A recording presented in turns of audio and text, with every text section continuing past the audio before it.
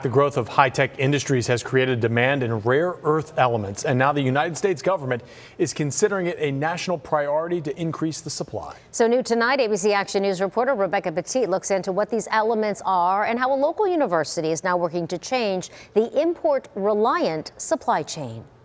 Researchers in Bartow are hoping to boost the supply of rare earth elements. They're found in things we use every single day, like cell phones and electric vehicles. We will collect some of the leachate material, some of the liquid, and we will test that to see if it pulled out some of the rare earths. We can't see rare earth elements with the naked eye, but the production of computers, solar panels, fighter jets, and much more all rely on a steady supply of it. Now the U.S. relies uh, mostly on China for this critical element.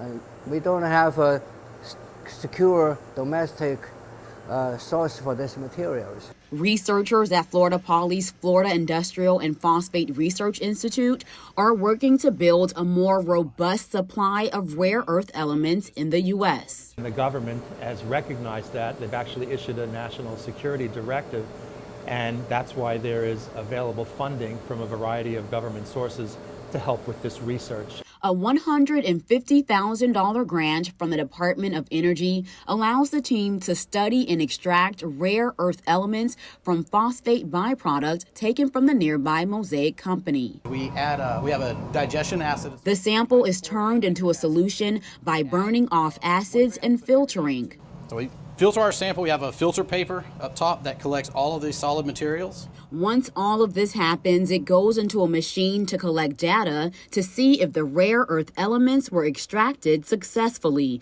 Researchers are hoping to receive a second grant to build a demonstration plant. In Bartow, Rebecca Petit, ABC Action News.